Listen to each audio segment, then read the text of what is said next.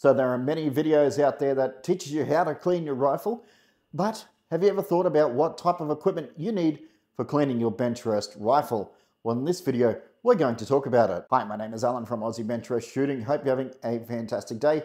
Yes, let's talk about bench rest rifle cleaning equipment. So first of all, why do you need cleaning equipment?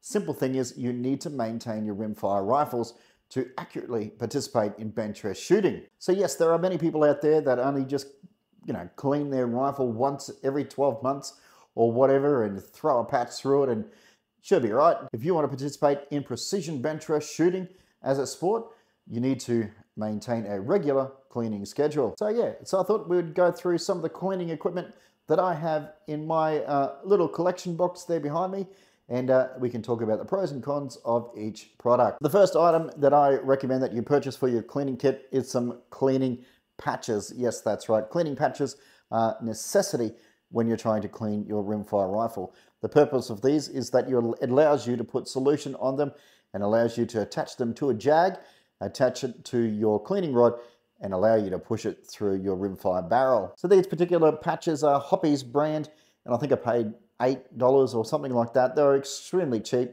And literally this packet has lasted me over a year. That's right. So there's 500 patches in this particular little packet. And you know, they're cost effective, they're simple to use. And big thing is when you're buying them, make sure you purchase the right size. Yes, that's right. On these packets, it says 22. So that way you can get the right patch for your 22 caliber rifle. Now the next particular product is called G96 Gun Lubricant. This stuff is like the WD-40 of gun lubrication. This stuff is amazing. You can put it on your stock, on your barrels, uh, through your actions, but only a little bit. You don't want to mess up your triggers. And you know, you can just use it on everything and it is safe to use. You know, this little can has lasted, again, over a year. Um, and I don't know, it feels about half full. You know, a little bit of this goes a very long way. And uh, if you have used WD-40, it simply sprays the same. You know, it doesn't have a you know bad odor and it is very easy to use for your rimfire rifles. Now the next thing that I have in my cleaning kit is a short cleaning rod. Uh, this is the Hoppe's brand and I've only just recently picked this up. Uh, that way it just makes it a little bit easier to clean the carbon ring. Now if you don't know what a carbon ring is, it's basically a strong buildup of lead and crud and dust and dirt just near the front of the chamber before the rifling. And the purpose of a short um, cleaning rod is to allow you to get in there, leave the solution, let it soak, and allows you to twist the cleaning rod and the cleaning solution around that carbon ring. And it just makes it a lot more easier to clean up that particular matter. So if you're looking for it, I highly recommend you buy a short cleaning rod for your kit.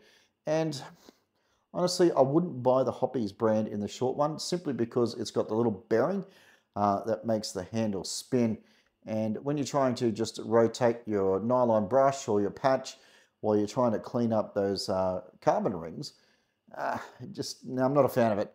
So I recommend that you buy a short cleaning rod without the bearing and allows you to turn your cleaning rod a lot easier. So the next thing that you need for your cleaning kit is a cleaning solution. So this is a bore cleaning.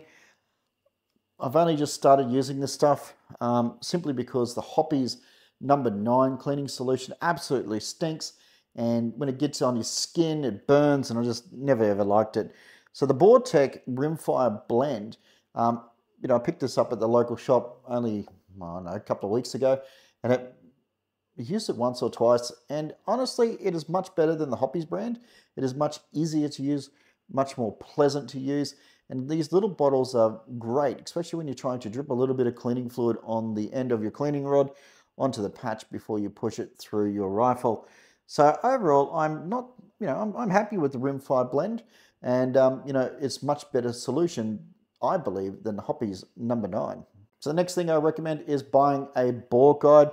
Now this particular bore guide is suitable for my Sako, but you know you need to find out what bore guide suits your rifle. Now there are a number of bore guides out there that will universally fit, but I recommend that you get a bore guide that specifically fits your rifle and just makes the job a lot more easier, cleaner, and no mess, no fuss. So definitely pick yourself up a bore guide. So the next thing that you need in your cleaning kit is some picks. That's right, these little plastic picks are very cheap and very handy to have in your cleaning kit. The main reason why that they are very handy is because they can dig into the little crevices and cracks and whatnot and able to dig out all the gunk, especially around in the chamber, which is very difficult to clean. So yeah, these little plastic picks do come in handy from time to time, and I recommend that you pick up a set and uh, just keep in your cleaning kit.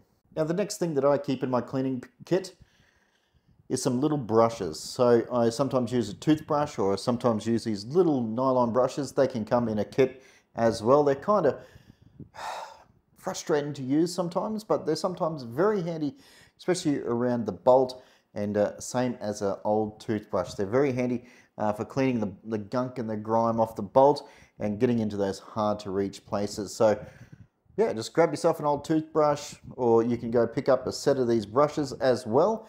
And uh, yeah, as I said, leave them in your cleaning kit. It's another really awesome thing to pick up at the local gun shop when you're looking for your cleaning supplies. Make sure you pick up a set of little brushes and bore mops. Now these things are really, really handy, especially when you're getting into the, when you're dealing with a carbon ring. These little brushes can be used with a short cleaning rod, which I showed before, which allows you to turn them inside the chamber and get rid of that carbon ring. So pick yourself up um, a set of these. They're very, very cheap. And obviously make sure you pick up the caliber that is right for the rifle that you're using. These little ones are for the 22 rifle. Well, I hope you all enjoyed this video talking about cleaning equipment that you can use with your bench rest rifle and keeping it in tip-top performance when you're out at the range. Don't forget to like and subscribe for more videos. Until next time, bye for now.